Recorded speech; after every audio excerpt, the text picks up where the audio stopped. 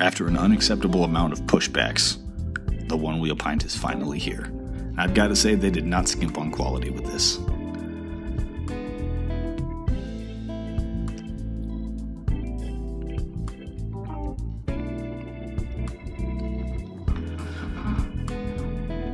My accessories showed up a week later, and I got the Ridemore bundle, which means I get a fender, bumpers, and I get clear rail guards. I also got a Ron Burgundy colored handle as well to match everything to kind of bring it.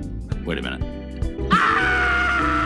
Going onto the website just to check, make sure I'm not colorblind. That is the Ron Burgundy, and this is this is not that. This looks like this one here, which is the leather option which is not what I ordered, so they will be getting an email from me shortly. So here we have everything laid out, we have the fender unpacked.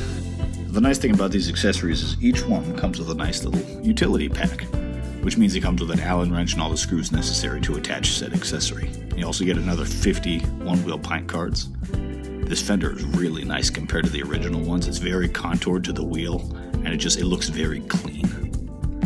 Look at that perfect seams.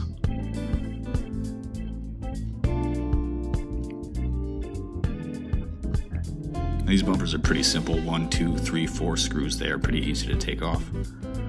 Just for ease of access, I took out the, uh, the front pad screws here. and just pulled this back. And under there you can see that they've actually put a lot more work and you can see it's newer tech as well. It just, it looks cleaner. And there are the connectors for the front foot pad and I'm assuming the battery uh, making it a lot easier to swap out those front foot pads. And then we just have our front front bumper here. It comes out eventually.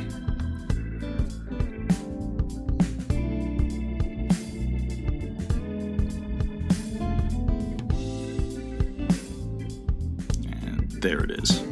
Alright. Simple enough. Here's the old one. I'm gonna swap in the new one now. Again, this is very nicely made internals compared to the V1 that I have that looks like it was made in a garage.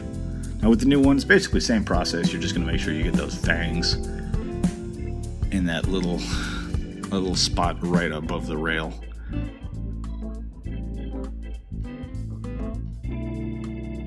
Pretty easy. There you go. Now the back one, this one gave me a lot of trouble. Reason being is it is not a full panel like the front one, it's merely just a like a, a bumper.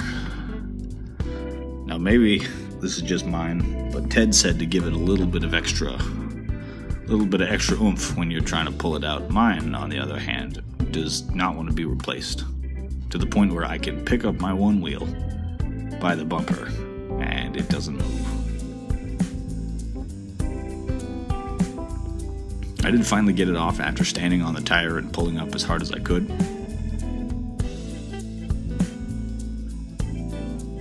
And then it's just the back foot pad there. You can tell they kind of put a little bit of effort into reinforcing that. Overall, I think it looks really clean. I just have to wait for Craft and Ride to come out with some rail wraps, and then this should be completed.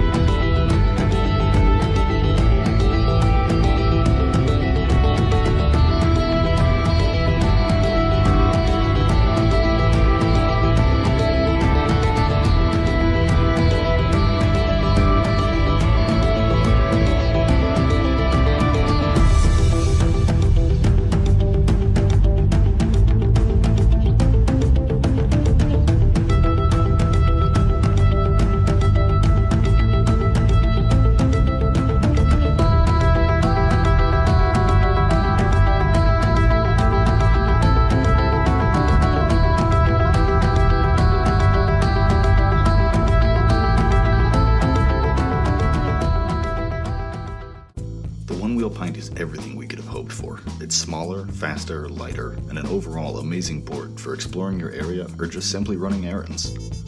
This board has many positive things to go over, so we'll go over the core concerns many people had the tire, the range, and its off road capabilities.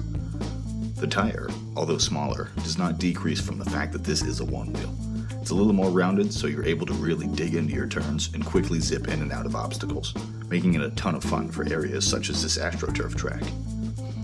The range is something they definitely underselled, as I consistently get 8 to 11 miles per ride.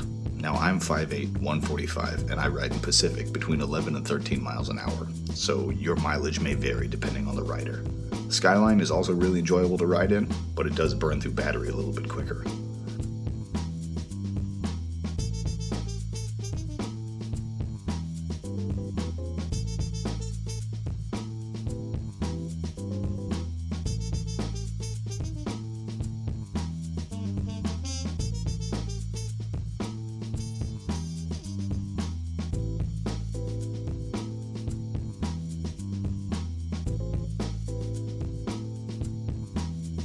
Off road capabilities were a concern for most, as that's a huge part of getting a Onewheel.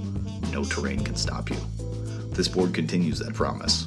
I took it over this sand gravel area and the wheel never slipped, I was able to keep consistent speed, and overall had a really good time. Now I will note that the rounder tire makes it so that the rocks start to ride up a bit on the sides, but that doesn't take away from the experience.